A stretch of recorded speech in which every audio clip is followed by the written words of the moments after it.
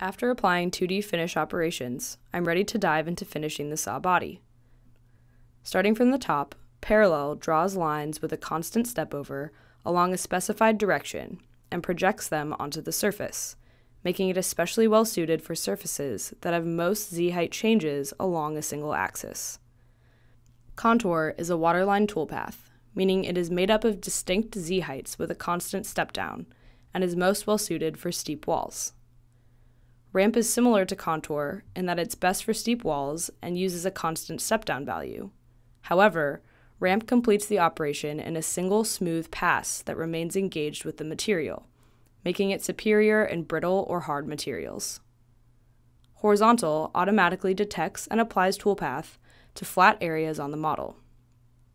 Pencil automatically detects internal fillets and corners and runs the end mill along those internal areas, making it great for cleaning up at the end.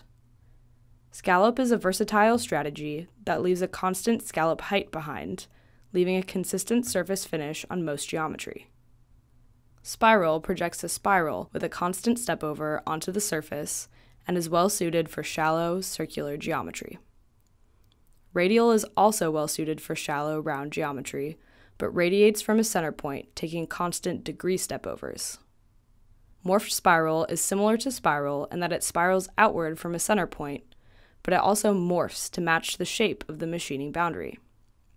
Finally, project takes selected sketch geometry and projects it onto the surface of the model. It's helpful to refer to the tooltips if I need a little more information about a particular toolpath and to see an example of that toolpath applied to sample geometry. I'll start out finishing the saw body with a parallel and go through the tabs just like in the 2D finishing operations. First, I'll need to pick a ball end mill, and this is a good time to remember that the tool library may be filtering out tools I expect to see, and I can adjust it by clicking on the tools being shown and adding or removing tool types. At the bottom, I can enable shaft and holder to allow Fusion to detect potential collisions with the shaft, holder, or both within specified clearances. I can choose how Fusion responds to detected collisions from four methods. Pull away will move away from the part and then re-engage when it's safe to continue. Trimmed will cut out the problematic parts of the toolpath. Detect tool length will automatically update the current tool to the required length to complete the operation and alert me in a message with the updated length and fail on collision will simply fail the entire operation if a collision is found. In the Geometry tab, I don't need to select specific geometry, but I will apply Machining Boundary to keep the toolpath contained to the 3D surfaces on the saw body. I'll also change the containment type to allow the tool to go outside the boundary so it can reach the sides. I'll enable Avoid Touch Surfaces to keep the toolpath off selected vertical and horizontal surfaces. Note that I can check the Touch button to have the toolpath touch only the selected surfaces. In passes, I'll first set my step over to something reasonable, like 50 thousandths. Then I can adjust the pass direction of the parallel passes. 0 degrees is the default, and points along the x-axis of my setup. Most of the features on the saw body vary along the y-axis, so I'll change this to 90 degrees.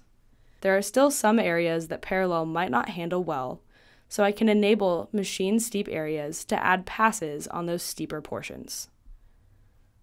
Lastly, in the linking tab, I'll change the retraction policy to minimum retraction to decrease the length of retract moves. I'll hit OK and see what this parallel looks like. I can clearly see the areas where additional passes were added, and it looks like this parallel would do a reasonable job of finishing the saw. If I want to quickly iterate on this parallel and be able to compare the toolpaths visually, I can duplicate the first parallel by right-clicking on the operation and selecting Duplicate. This transfers all of the parameters into a new parallel operation, and I can make small changes to see the effect without losing the original. This time, I'll disable machine steep areas and try a 45 degree pass angle to bisect those steep areas without any additional passes. Then I can rename the operation so I know what I've changed and can compare the results in a stock simulation later. I can also create a completely different kind of 3D operation based off of the first parallel using derived operations, also found in the right click menu. Creating a derived operation ports over as many parameters as possible from the existing operation into whatever new operation I select. The only limitation is that I can only create 2D from 2D and 3D from 3D. I'll apply this now to create a different type of toolpath, scallop, from the second parallel operation. I can see in the Tool tab and Geometry tab that the tool, shaft and holder settings, machining boundary, and even avoid surfaces were all preserved. The Passes tab looks fairly different in Scallop than it did in Parallel, so the only parameter that carried over was the step over size. I'm okay with all the defaults for the remaining parameters, so I'll hit OK to generate the scallop. It looks good at a first glance, and now I have a third finish option generated quickly without duplicating effort. I can compare these finished passes using stock simulations, covered in the in-depth stock simulation video, and edit the existing operations or create new ones by following the same process of applying the tab principles and using derived operations.